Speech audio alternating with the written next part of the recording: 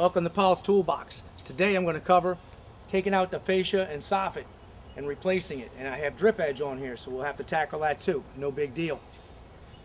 Another big problem that we have, or another problem that we have, is azaleas right here, tall bushes. It, it keeps me from getting in that corner.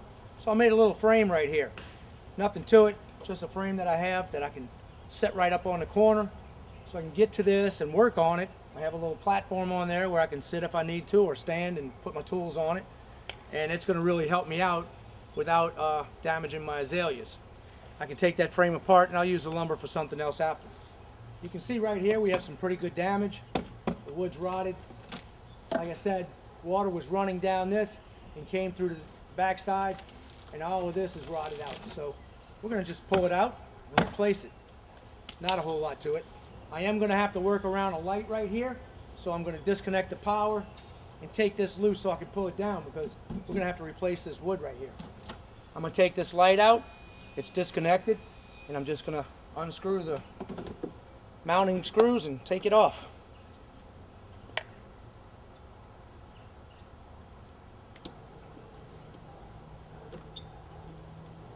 You see these two wires, this black one is your hot and this white one is your neutral. It's disconnected already, the power's off, so I'm just going to take them loose.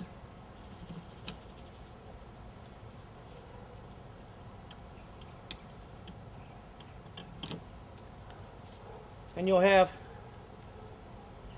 on your wiring, your two hot leads go to the one side and your two neutrals go to the other side. And you can see there's one lead and one neutral for each one of the uh, lights. Took the box out, I recapped the wires, and I just tucked them back in there. Now I can take my saw, mark a line right here, and cut it right across. I'm to take my Swanson Speed Square, set it right up against this trim piece. And I'll get a straight line. Now, I can take a straight edge and continue it on.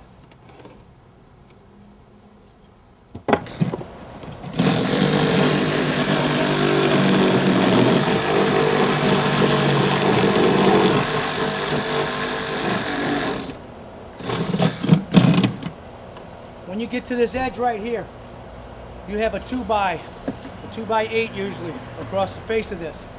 And it's nailed to that uh, plywood. So you want to go on an angle, get as much of it as you can without cutting this fascia. So we'll just chisel that other little part out. No big deal. Now that this is loose, this part right here I need to take out a little bit and I've got nails back there. This is a demo blade. So get this in here.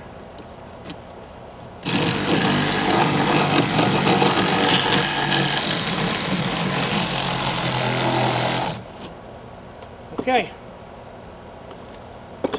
We're loose from here. And everything's loose except for this face part. We don't want to pull this down and crack that fascia. So we're going to take this part right here and get it loose. I'm going to have to cut it.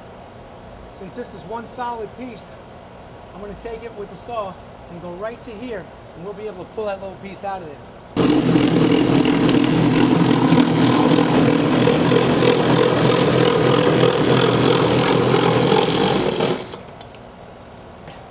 Take this, wiggle it down a little bit, be real careful. It comes right out. See how it's rotted? What we're going to do now is cut this straight across here. I'm going to take a block of wood on the top and put across so I'll have something to tack this to and that to. I'm going to tack that onto the, the back, just a piece of wood, and it'll strengthen this up. So I'm going to cut this straight across right here.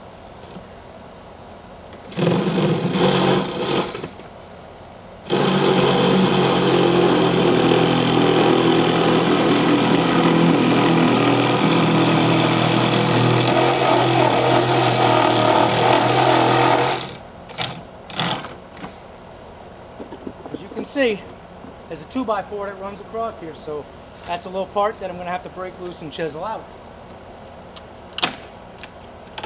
Well, got real lucky. It broke off basically clean. All I have to do is chisel a tiny piece off of it. So I take my hammer, chisel.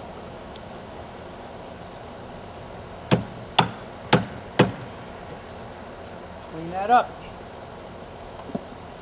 I don't have much daylight left so what I'm going to do is just put a piece of plastic across here so nothing gets in it, and uh, I'll resume this tomorrow.